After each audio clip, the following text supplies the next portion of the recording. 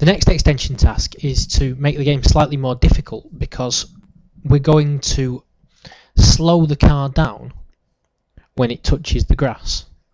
So it'll move at four steps a second every when it's on the tarmac, but when it's on the grass or touching the grass, it's going to slow down.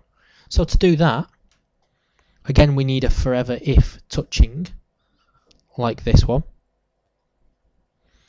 Um, and we're also going to choose put our motion in and we're going to have move like so. We'll put that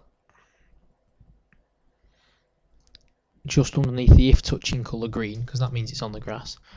And it's travelling at four steps. So if we say move minus two that will slow it down. So it's only travelling at two steps so let's try it. Um, I'm just going to hide my little laps variable that we haven't got to yet but I've already created. There you go. So let's see if that works. Press my forward arrow. Now does it slow down when I hit the grass? Yes it does. It slows down and then it speeds up again when I'm on the tarmac. Yeah and it slows down. And I've run out of score so that's game over.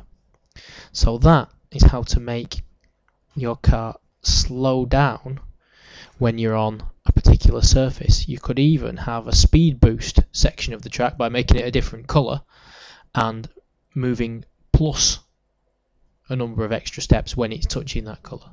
Why don't you try putting something like that in? Off you go.